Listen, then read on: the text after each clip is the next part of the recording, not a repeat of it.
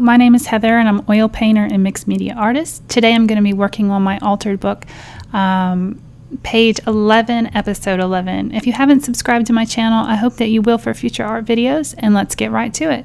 So the first thing that I'm doing is I took one page and I folded half of it down and glued it.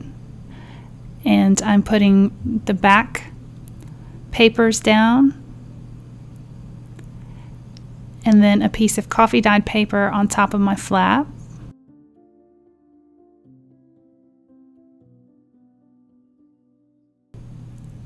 And then another beautiful digi on the other side. And then I am taking my vintage photo and inking all around. And then I'm gluing each side and creating a pocket. And now I'm gluing two pieces of book page together using my tear ruler to tear off the sides where there, there isn't any text. And I'm going to do simple collage to create a journaling card.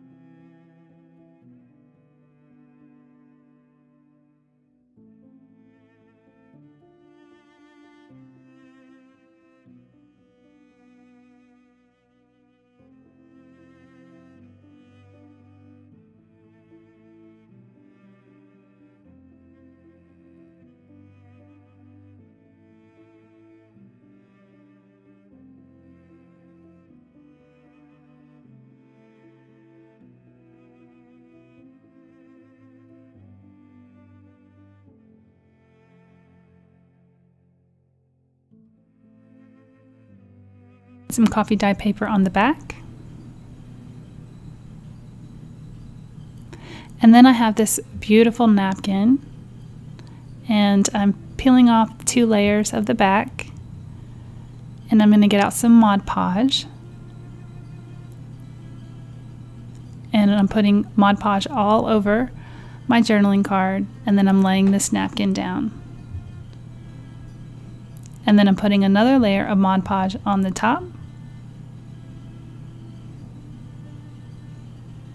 I got my heat gun out just to help speed it along. And then I sewed around it and inked around it. And then I put a little piece of file folder as the tab. So cute. Hope this inspires you for your altered book. If you haven't subscribed to my channel, I hope that you will for future art videos. And I'll see you guys next time. Bye.